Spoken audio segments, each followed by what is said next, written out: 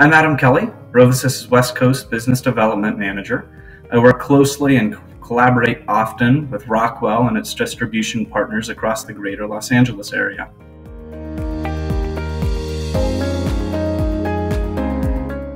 Although RoviSys is most known for automation across multiple process and heavy industry markets, a rapidly growing discrete manufacturing group focuses on material handling applications in various industries, such as general manufacturing, aerospace, automotive, semiconductor, fulfillment and distribution centers, and e commerce.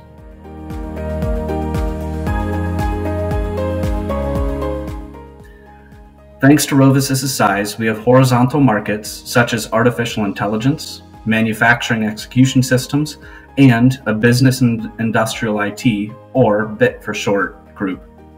These groups are extremely unique to the market, allowing Rovisys to have a center of excellence in preparing for where the industry is going next.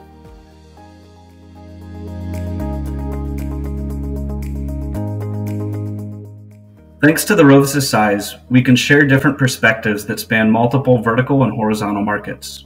We take a holistic approach, so when we're asked, what's the one thing we're good at? Well, we're good at pulling everything together to find what our customers actually need.